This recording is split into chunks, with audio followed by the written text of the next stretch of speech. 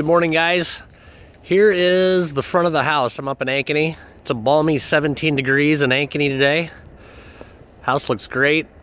It's actually a quiet street.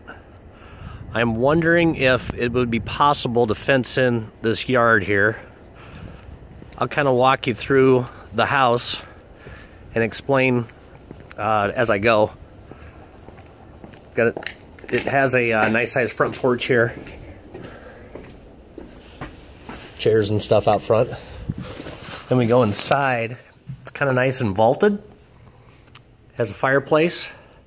This is really open also. And the front of the house faces the south. So you should be able to get some sun coming in through the front windows. That's a closet there. Kind of walk through. Here's a bedroom. It's actually pretty good size. Big window over there bathroom. It looks like quartz countertops, tile floors, and then they have this set up as an office. Another big window in the front and closets there. Hopefully don't get dizzy as I walk around. Here is the dining area off the kitchen. Got a deck there I'll show you outside quick. It's actually a pretty good sized yard for uh, Ankeny in the Prairie Trail area. Tons of cabinets. Got a big wall cabinet there. I'm gonna look inside and see if they have pull-outs or not. They do. So the pull-out shelves, which is a nice touch. Gas range. Then we go over here, nice sized laundry room.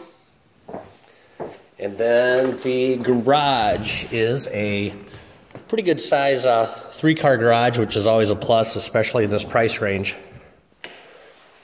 We got the uh, locker drop zone there, storage underneath it.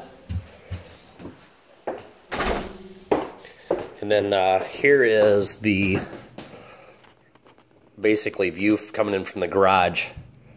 It's nice and open. Hardwood floors throughout the house.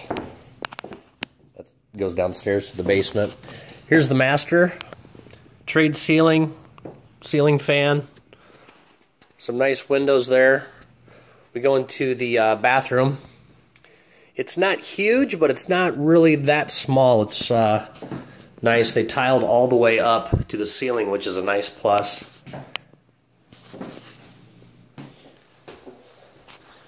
And then we'll sneak over here to the master closet, which is pretty good size deep.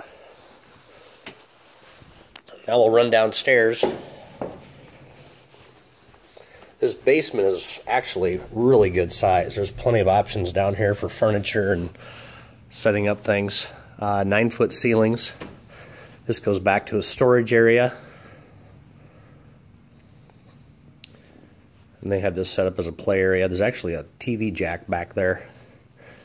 And then over here, I have an egress window spot for a microwave, wine fridge, wet bar.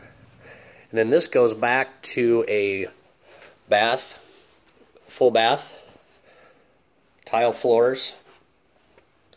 And then here's uh, like a guest bedroom, egress window. And then one other nice plus about this house is that it has a huge storage area